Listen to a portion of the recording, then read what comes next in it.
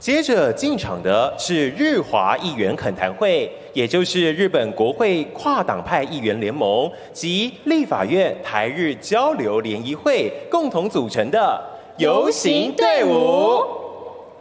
日华议员恳谈会是由约两百七十位日本跨党派国会议员所组成的有台议员团体，成立于一九七三年，今年适逢创立五十周年。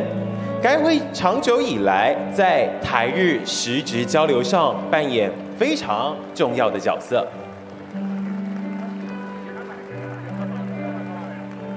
欢迎你们！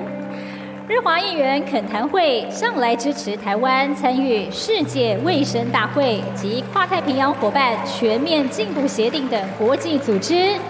现任会长古乌龟司众议员，最近呢，大家应该有印象哦。他以台语讲了这句话，他说：“台湾无代志，日本无代志。”也就是呢，用这句台语展现对台湾全力相挺，让大多数台湾人民真的是深受感动。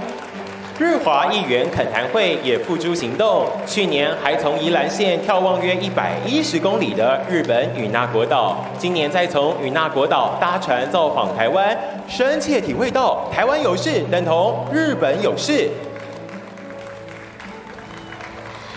我们也请台上的贵宾和现场的朋友们跟他们挥挥手。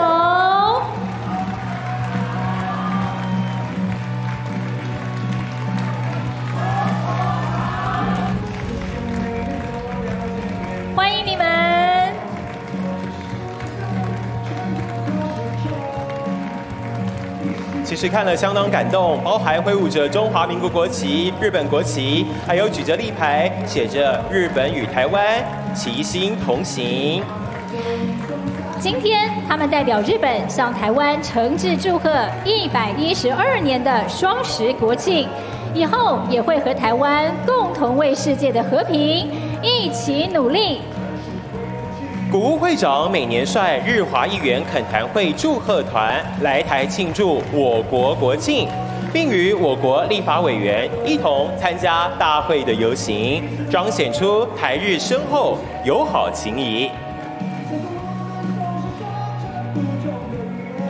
不管是日华肯还是立法院台日交流联谊会，在台日国会外交、对日关系建立与发展上，促进了台日产官学界以及民间社团绵密持续的互助合作，让台日两国成为紧密而真诚的伙伴。